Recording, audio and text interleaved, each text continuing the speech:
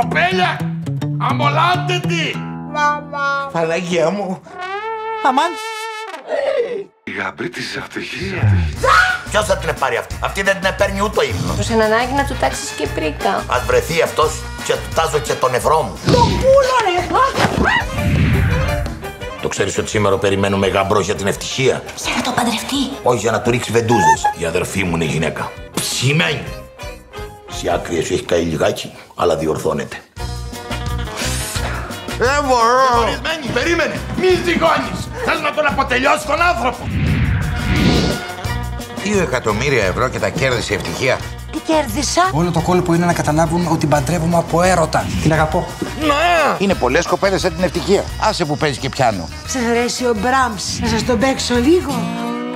Αχ, αυτά τα μάτια της. Μήπως έχεις καταράκτη, επεφυγίτη, τυφλοποντικίες. Τι κεφαλάκι είναι αυτό; Μοσχαρίσω. Αν δεν μου τη δώσετε, εγώ θα την εκλέψω.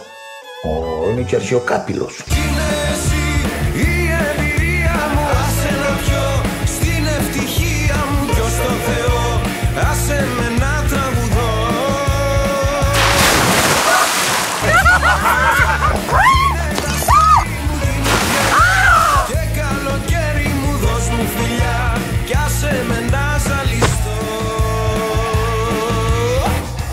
Ξανακάνει, θα του τα φορέσω με τρεις. Ωραίο ζευγάρι.